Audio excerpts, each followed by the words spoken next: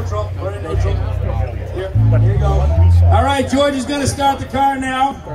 He's our resident car starter. Don't ask him for his license.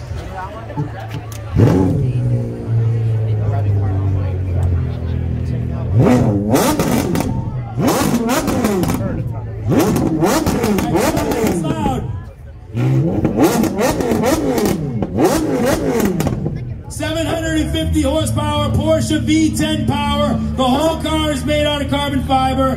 There's only a few hundred of these cars in the whole world. This car was prepared by RUF, which is a special tuner in near Stuttgart where Porsche is, and there's only five of these RUF Carrera GTs in the world. And you have one of them right here at the Tuscan Village.